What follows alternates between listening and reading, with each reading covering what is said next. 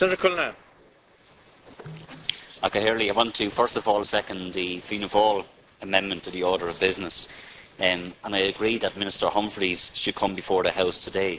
But in reality, I think it should be on Taoiseach that should come before the House because last week on Taoiseach said he took personal responsibility for what has now been a fiasco in, in relation to the Seanad by-election. And if the Taoiseach was taking personal responsibility, what was he taking personal responsibility for? Because when you take responsibility for something, it means you did something wrong. So the Taoiseach should come into this House and explain to us what he did wrong. We all know what he did wrong, but he should account for himself, account for himself here in this uh, House.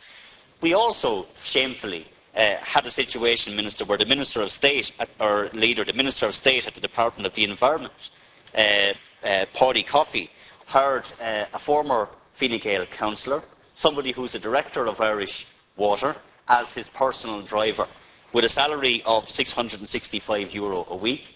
We know the same individual received a gratuity payment of €57,757 when he lost his council seat and receives €15,000 Euro of an annual fee for his position on Irish Water. Now, there's a clear conflict of interest, obviously, later, where a director of Irish Water is employed by the Minister with responsibility for Irish Water to be his driver. And what was most disturbing, in fact, was his response. This is uh, the former councillor, when he was asked by the media.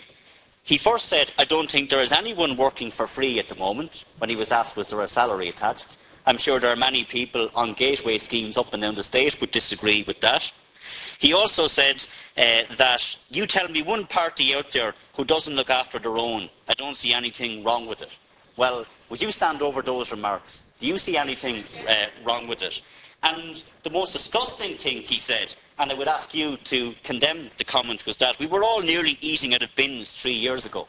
There's very few people, I can tell you, who support the Fine Gael party who were eating out of bins three years ago, or 10 years ago, or 30 years ago. But there are many people out there who may not be eating out of bins, but who are in poverty at the moment and who can't afford to pay bills. And on this day of all days, for us to be discussing this issue, you and your party want to impose water charges.